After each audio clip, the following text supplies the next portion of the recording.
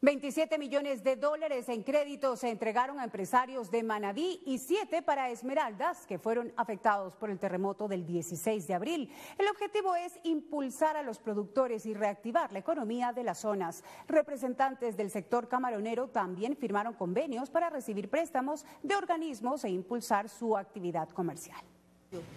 Los esfuerzos para reactivar la economía de las zonas afectadas por el terremoto del 16 de abril no cesan. Los camaroneros se benefician de créditos para reactivar el sector. Es el caso de Vinicio Aray, es de Cojimíes, en Pedernales. Su empresa firmó un convenio crediticio con la Corporación Financiera Nacional por alrededor de un millón de dólares. El dinero le servirá para comprar maquinaria, infraestructura y sistemas de bombeo, debido a que tras el terremoto quedó gravemente afectado y tuvo pérdidas de cientos de miles de libras de camarón puedo yo decir que es la primera vez que recibo una ayuda directa. Fue el tercer día, creo, que aparecieron los técnicos a evaluar el daño. El préstamo al que accedió es a siete años plazo, incluye un año de gracia y con un interés anual del 7.5%. Que nos va a reponer capital de operaciones perdido y parcial instalaciones. Además, la Corporación Financiera Nacional entregó 27 millones de dólares en créditos para empresarios de Manabí y otros 7 millones para Esmeraldas.